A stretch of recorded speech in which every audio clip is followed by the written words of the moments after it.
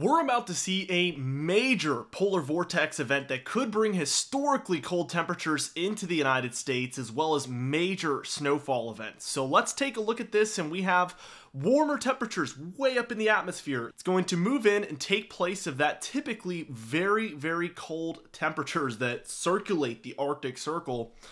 And what this is going to cause is colder temperatures to move into areas like Russia, Europe, United States. All of this colder air is going to exit the Arctic region and enter into the more middle latitudes and cause again very very cold temperatures and we can see these troughs set up again more over Mongolia and China as well as here in the eastern and central United States which is a big big sign for extremely cold temperatures down the road. Now, we call this a sudden stratospheric warming event when we see this warmer air move over the Arctic Circle. And on the left, we could see a typical strong jet stream, strong polar vortex up there in the Arctic. And this jet stream doesn't really fluctuate too much. It's moving pretty circularly around the Arctic regions. But when we see this warmer air move over the Arctic, we get this really weak jet stream that's waving all over the place with all sorts of troughs and ridges here. And this is exactly what we anticipate for later on in November into the early December timeframe.